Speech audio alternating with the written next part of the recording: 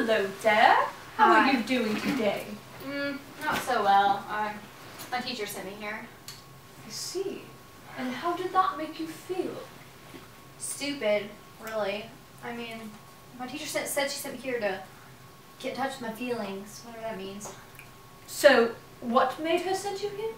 Well, I failed her test, and then she asked me something about it, and I was like, well, I mean, your class is really, really boring. Oh And I basically told her her class was boring and she was boring, and I don't care about anything that's in her class. I mean, it was kind of harsh, but Well, well, how do you think that made her feel?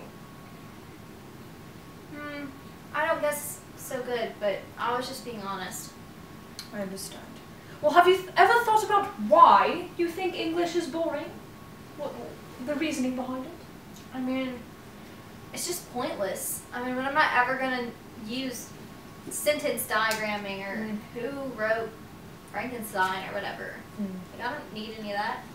Well, I understand your frustration. You're not failing the test in English because you're unintelligent. It's quite the contrary. I know you are intelligent.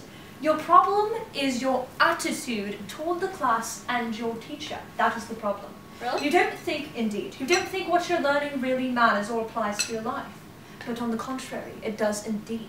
And I bet there's a way that your learning does apply to your life. Really? And we're going to talk about this further. And I'm going to talk to your teacher about making these connections more clear in class. Oh, well, thanks. I never really thought about it that way before. I mean, I guess, yes. yeah, I didn't see the purpose behind it. There is a purpose. It's all about the attitude. Well, thanks, Dr. Blaine.